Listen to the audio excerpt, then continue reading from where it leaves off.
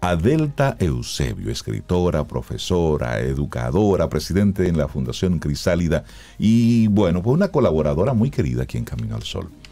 Delta, buenos días, bienvenida, ¿cómo estás? Muy bien, iniciando la primavera, maravilloso mes, maravilloso día. Qué bueno que estés aquí con nosotros, Delta. Pero acuérdate que el mejor mes y el más maravilloso es abril. Ana Belén sigue preguntando. Señores. Bueno. Pero Ana Belén sigue preguntando quién fue que se lo robó. Ah, cuidado se anda por aquí, por este país, el que se robó abril. Delta, qué bueno conectar contigo. Buen día, Delta. ¿Qué nos traes para esta mañana? Buen día, chicos. A propósito de sus reflexiones, eh, este libro, yo me pensé, estaba, estaba leyendo uno, pero de momento la guerra me está golpeando. Y dije, bueno, yo necesito leer algo que me, que me desconecte de todo esto. Y elegí un libro de Eckhart Tolle, que es el autor del famoso El poder de la hora. Él nos habla de una nueva tierra en este libro. De hecho, así se llama el libro, Una nueva tierra y él no lo enfoca como una visión utópica, sino como los cimientos que están dentro de nosotros mismos en el despertar de nuestra conciencia. Y en el Sermón de la Montaña Jesús hizo una profecía, dijo, bienaventurados los humildes porque ellos heredarán la tierra. Entonces nos preguntamos quiénes son los humildes, qué quiso decir. Los humildes son los que carecen de ego, son las personas que han despertado a su naturaleza esencial y verdadera y reconocen esa esencia en todos los demás y en todas las formas de vida. Porque de verdad que creemos que la guerra se inicia en la mente, se inicia dentro de nosotros mismos y la sacamos afuera. Entonces, la propuesta es el florecimiento de la conciencia humana, de nuestra conciencia, de la conciencia de todos, desarrollar la presencia, la atención, la alerta en nuestras percepciones, en nuestras emociones y conectarnos con la esencia divina, desarrollar la conciencia interior, reconocer que todos somos uno con, con todas formas de vida. El cambio planetario viene desde dentro, nunca desde fuera. Entonces, eh, se hace necesario que en este momento donde un país invade al otro, donde está la amenaza de que esa guerra se vuelva viral, como los memes, y nos afecte más todavía de lo que nos está afectando a todos. Entonces hay que, el cartole nos habla de, entrar dentro de nuestro ego y de lo que la palabra de yo encierra.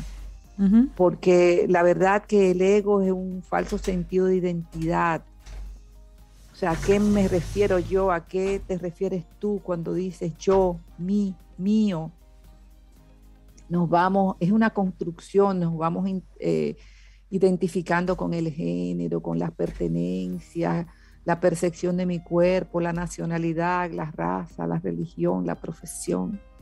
El yo es una interpretación mental, condicionada por el pasado, por mi historia, por tu historia, mi casa, mi marido, mi trabajo, mi dinero, mi profesión, mi familia, mis pertenencias. Y paradójicamente esto, esto no funciona, porque cada vez eh, hay mayor uso de antidepresivos, la necesidad de estar haciendo algo para sentirnos bien, seguir comprando, consumiendo, la identificación con el cuerpo, en algunos países ser soltera es un plus, en otros países ser casada. Para las mujeres en general, ser, fértil es importante. Para los hombres, tener una buena potencia sexual, la belleza, la delgadez, la obesidad, el envejecimiento es un tema fundamental. Cada año se este, hacen más y más cirugías plásticas. Aquí en el país hace 40 años eran básicamente las mujeres. Ahora los hombres van ahí casi cerca. Yo tengo un amigo cirujano plástico que me dice que se sorprende que cada vez más los hombres están haciéndose cirugías plásticas. O sea, aceptar el envejecimiento es parte de la vida. La idea es que dejemos de identificarnos con ese torrente de pensamientos, ese contenido de la mente que está condicionado por el pasado, la crianza, la cultura, la historia individual y la historia colectiva, las quejas, los resentimientos, esa aplicación constante de rótulos mentales a los demás, este me gusta, este no me gusta, este es muy inteligente, este no lo es tanto. Y pasar desde la crítica a la violencia verbal y luego física es, es un camino corto.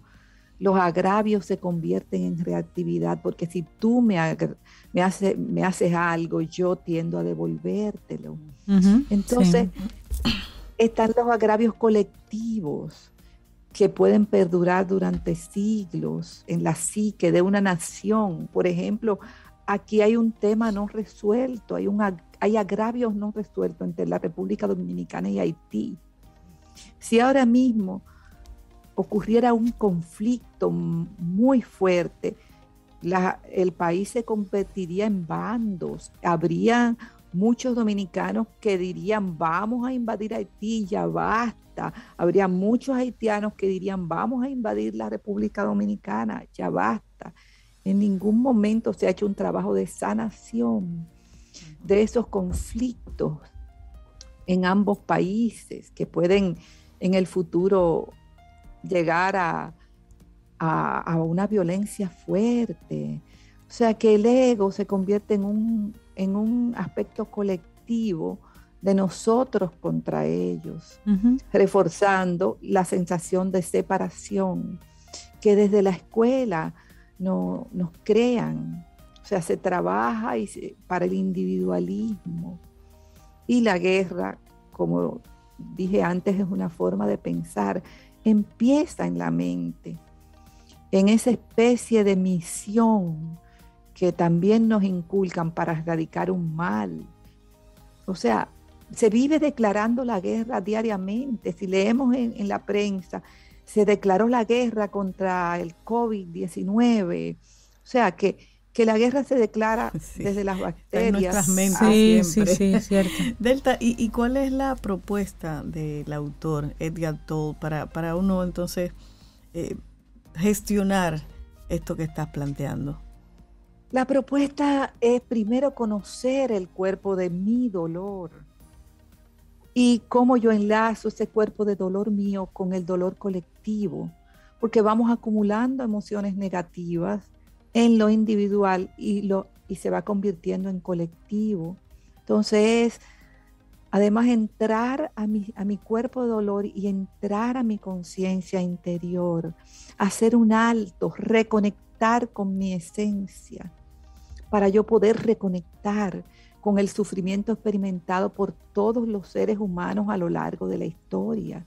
Fíjate, cuando surgió el COVID-19, la mayoría nos enfocamos en, el miedo individual, todos tuvimos miedo de morir, pero en ningún momento muchos de nosotros nos sentamos a pensar en el, en el gran miedo colectivo, que esa energía estaba envolviendo el planeta, los niños se, volvieron insoportables. Aún aquellos que viven en casa con hermosos jardines, piscina, que lo llevaron mejor que los que estaban encerraditos en un apartamento. ¿Por qué los niños? Porque son más sensibles a la energía. Entonces la liberación viene por la identificación del cuerpo dolor, que se rompe con la presencia consciente con el descubrimiento de la verdadera esencia. El sentido de lo que creemos es lo que determina nuestras necesidades. Entonces, ¿cuáles son esas cosas importantes que al tú no tener te hacen sentir insegura, ansiosa, irritada? ¿Cuáles son esas cosas por las cuales tú pelearías? Entonces, es descubrir nuestro espacio interior, nuestro refugio, para poder entrar a él Y desde ahí no juzgar, trabajar el apego, esa conciencia de espacio interior que tapamos, por ejemplo, la televisión. E, vivimos momentos que trabajamos muchísimo y el poco tiempo que tenemos, la mayor parte de los seres humanos, de nosotros, lo utilizamos desconectándonos a través de la televisión. Un poquito de televisión cae muy bien, me hace soltar las tensiones, pero emplear mi tiempo libre en la televisión que me saca de mi centro y me pone en el exterior es como tomarme una pastilla, igual el alcohol, y ni que digamos de otras drogas. Entonces la invitación es abrirnos a la capacidad de belleza, de la apreciación de las cosas en sí. Me gusta eso, la capacidad de belleza y apreciación de las cosas. Nivel de conciencia, nivel de conciencia, subir ese nivel de conciencia. Correcto, ampliar la conciencia, porque como decían lo que eh, agarraron en estos días con una de las tantas Em, operaciones. Operaciones en este momento que tienen tantos nombres, el que, los que clonaban las tarjetas y esto, uno dijo, pero es que me están queriendo robar mis chelitos. Sí, Ese muchacho considera que él trabajó ese dinero. Sí, es decir, esa, no se lo deben quitar. Hay un reconocimiento de que yo no he hecho nada malo. Y eso es para que nosotros nos preocupemos. Eso es grave, claro que sí. Claro que sí. Entonces, cuando yo te critico, o sea, yo no estoy haciendo nada malo, yo simplemente estoy, estoy mirando algo que, es obvio, porque es obvio. Y ejerciendo mi libertad de expresión. Correcto. Qué bonito. Entonces yo te estoy dañando. Sí. Entonces, cada día, bueno, nosotros en estos días hicimos un día de no crítica, óyeme, y fue durísimo. A cada momento yo me sorprendía criticando y me di cuenta que Instagram me abre la crítica. y cualquier red. Es el espacio para. Sí. Entonces es difícil.